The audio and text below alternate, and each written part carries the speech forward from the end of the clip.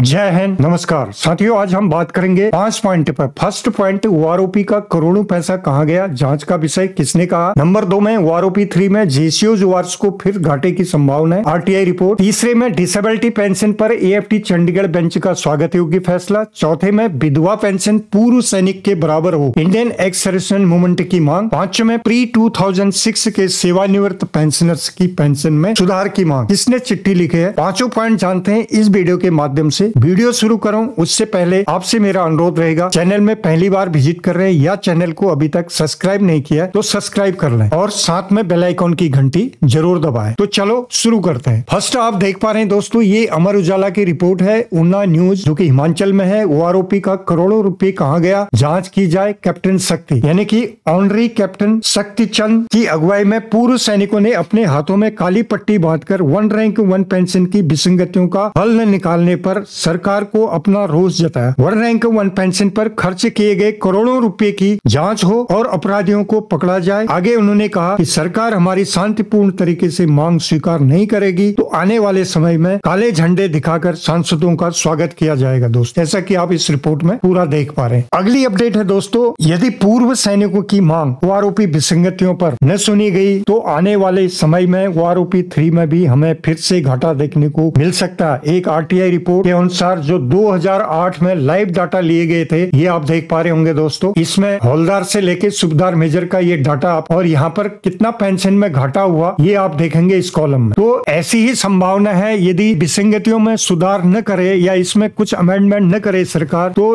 Definitely यूआरओवी three में भी आपको कुछ ऐसा ही नज़र आएगा, यानी कि घाटा ही नज़र आ सकता है दोस्तों। अब बढ़ते हैं अगली अपडेट की तरफ़। ये है डिसेबिलिटी पेंशन का अपडेट दोस्तों, जो कि आप द ट्रिब्यून के आधार पर रिपोर्ट आई हुई है। जिसमें आप हेडिंग देख पा रहे होंगे disabled ward of ex serviceman entitled to life time pension of they were dependent on it time of accident AFT यानी आर्मड फोर्सेज ट्रिब्यूनल का कहना है। डिसेबिलिटी पेंशन पर एएफटी चंडीगढ़ बेंच ने एक स्वागत भरा फैसला सुनाते हुए डिपेंडेंट पेंशनर्स को न्याय दिलाया। दोस्तों, ऐसा हादसा किसी के साथ न हो। हम सभी पेंशनर्स चाहे वो फैमिली पेंशनर्स हो या डिपेंडेंट पेंशनर्स हो, सभी स्वस्थ और समृद्ध रहे। ऐसी हम कामना करते हैं, लेकिन कुछ हाथ हादसे ऐसे हो जाते हैं जो कि मजबूर हो जाता है। पेंशनर्स या उसके जो पीछे बच्चे होते हैं, उनको मजबूरी आ जाती है। तो वही एक मजबूरी इस पेंशनर्स के हक में ये फैसला है। इसका पूरा विश्लेषण मैं आपको बताता हूँ। समझने से पहले पेंशन रूल क्या कहता है, वो समझना ज़रूरी है। ऑर्डनरी फैमिली पेंशन वार्ड में जब किसी सरकारी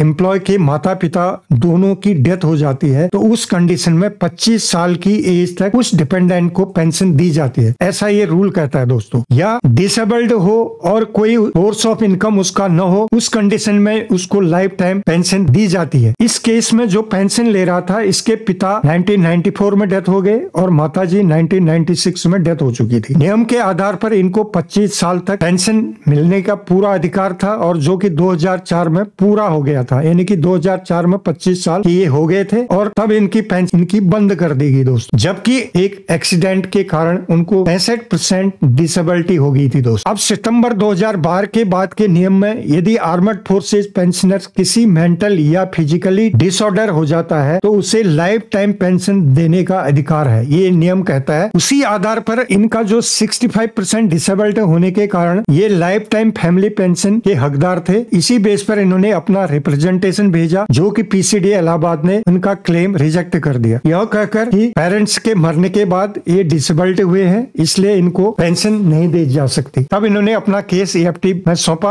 और एएफटी चंडीगढ़ बेंच ने क्या फैसला सुनाया दोस्तों? बेंच ने फैसला सुनाते हुए कहा कि दुर्घटना के बाद आवेदक जीवन भर के लिए पैंसठ प्रतिशत विकलांग हो गया है और अब यह उसके जीवित रहने का महत्वपूर्ण कारक है। वह जीवन भर पारिवारिक पेंशन पाने का हकदार है। बेंच ने उसके पेंशन दावे को खारिज करने के आदेश को रद्द करते हुए फैसला सुनाया कि इसको पेंशन दी जाए। जो कि आप ये ऑर्डर यहाँ पर पढ़ना चाहें तो ये दिया गया है और यहाँ पर पूरा बेंच ने क्या कहा? वो पूरा आप यहाँ से देख सकते हैं दोस्तों। अगला अपडेट आप देख पा रहे होंगे, ये ब्रीफ देख पा रहे होंगे need for widows pension equal to ex serviceman pension यानी कि ये एक ओआरओपी की बहुत बड़ी विसंगति है दोस्तों, जिस पर पूर्व सैनिक अपनी मांग उठा रहे हैं और अभी तक उठाते जा रहे हैं। लेकिन इस पर कुछ भी फैसला नहीं आया, जो कि एक विधवा पेंशन का मामला है। और इस ब्रीफ में ये बताया गया है कि विधवा पेंशन एक एक्स सर्विसमैन पेंशन के बराबर हो, क्योंकि वीर नारी की पेंशन बहुत कम है, जो पेंशनर्स के जाने के बाद उसको परिवार चलाना मुश्किल हो जाता है। पूरे देश में 6.45 लाख डिफेंस विडोज हैं, जिसमें से हर साल 40 से पचास हज़ार जवान चले जाते हैं और उसमें से 80 परसेंट विडोज जेसीओ जुआर ही होते हैं और ज़्यादातर गाँव से होते हैं और उनको कोई रोज़गार का भी साधन वहाँ पर नहीं होता है। अतः रोज़मर्रा की ज़िंदगी के लिए जैसे इलेक्ट्रिसिटी बिल है गैस का बिल है एजुकेशन इत्यादि बच्चों का बोझ सडन उस पर आ जाता है और जो कि ये पेंशन बहुत कम है, इससे उसकी आजीविका चलाना मुश्किल हो जाता है दोस्तों। यहाँ पर आप चौथे पॉइंट में देख पा रहे होंगे। बारह जून 2023 को इंडियन एक्सर्सन मूवमेंट का एक डेलीगेट सेक्रेटरी ईडब्ल्यू से मिला और, और उन्होंने मांग की थी कि विधवा पेंशन को इक्वल टू एक्स सर्विसमैन के पेंशन के बराबर की जाए। बट ये केस टेकअप किया गया सर्विस हेडक्वार्टर में और गवर्नमेंट के पास लेकिन इसको एग्री नहीं किया गया। जबकि इसको मानना चाहिए और यहाँ पर पाँच में बताया गया है कि Indian ex serviceman movement strongly इसको रिकमेंड करता है और यह मांग को मानना बहुत ज़रूरी है, जो कि आप यहाँ पर देख पा रहे होंगे, मेजर जनरल सतबीर सिंह साहब एडवाइजर हैं united front of ex serviceman के, ये साइन किया है उन्होंने अगला अपडेट है दोस्तों प्री 2006 के जो रिटायरी हैं, उनके बारे में भारत पेंशनर समाज, एक बहुत बड़ा ऑर्गेनाइजेशन है, जो की भारत सरकार को चिट्ठी टाइम टू टाइम लिखता रहता है और पेंशनर्स के मामलों को उठाता रहता है। तो ये डेटेड पाँच जनवरी 2024 को भेजा है इन्होंने to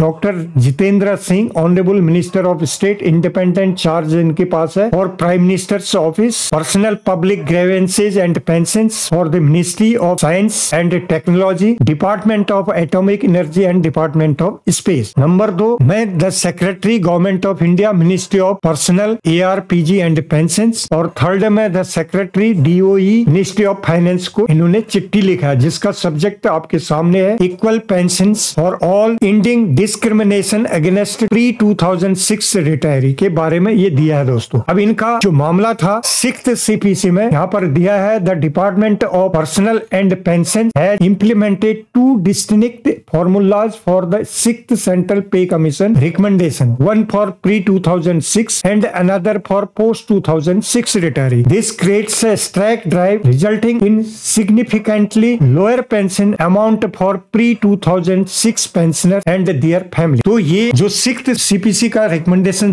था दोस्तों, दो फॉर्मूले से इनकी पेंशन को कैलकुलेशन कर दिया प्री के लिए अलग कर दिया पोस्ट के लिए अलग कर दिया। जिसके कारण पेंशन में काफ़ी डिस्क्रिमिनेशन देखने को मिल रहा है। जैसे कि आप डिफेंस पेंशनर्स की यहाँ पर बात करें तो उनकी भी पेंशन जो प्री 2006 के रिटायरी है और पोस्ट 2006 के रिटायरी है, उनके भी पेंशन में अंतर हो जाता है, क्योंकि उनको एमएससीपी लागू नहीं होने से उनकी पेंशन में बहुत बड़ा अंतर हो जा रहा है। जैसे एक सिपाही यदि पोस्ट 2006 के बाद रिटायर आया है, उसको एसीपी वन एसीपी टू मिल रहा है तो हौलदार के पेंशन में चले जाता है और वहीं प्री 2006 का जो रिटायरी है, वो एक सिपाही की पेंशन लेता है, जिसमें की ह्यूज गैप हो जाता है उसके पेंशन में। इसी तरह हर एक रैंक का, नायक हौलदार नायब सुबेदार सुबेदार, यानी कि जो भी रैंक है, सबके पेंशन में काफ़ी बड़ा गैप हो जाता है। इसलिए सरकार को यह बात माननी चाहिए और ये जो गैप है, इसको दूर करना चाहिए, ताकि प्री 2006 के रिटायरी की भी पेंशन ठीक हो सके दोस्तों। तो ये थी आज की जानकारी। जानकारी आपको ठीक लगी तो वीडियो को लाइक शेयर करें। फिर मिलते हैं किसी अन्य अपडेट के साथ। तब तक के लिए जय हिंद, जय भारत।